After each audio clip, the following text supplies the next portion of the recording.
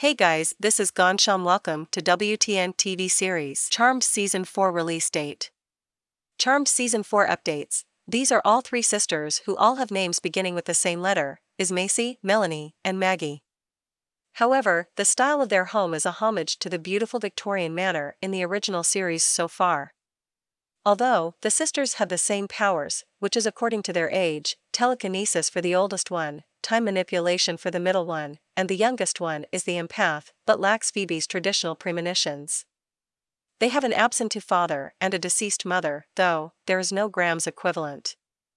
Well, the Book of Shadows is still a thing, including the Triquetra, which is prevalent, though, there are still White Lighters and Elders, and the source of this force proves to be much less sinister than in its incarnation, which was original at that time.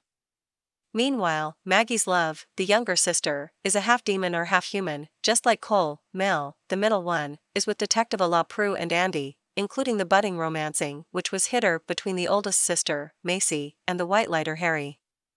The fantasy series, charmed the audience just like its name, since 2018 on the CW channel, got a kickstart for the renews from the audience so far. Although, it's been confirmed on February 2021 during the airing of the third season for the renewal of the fourth season of Charmed. However, on November 5, the CW network confirms that the show will renew for March 11, 2022.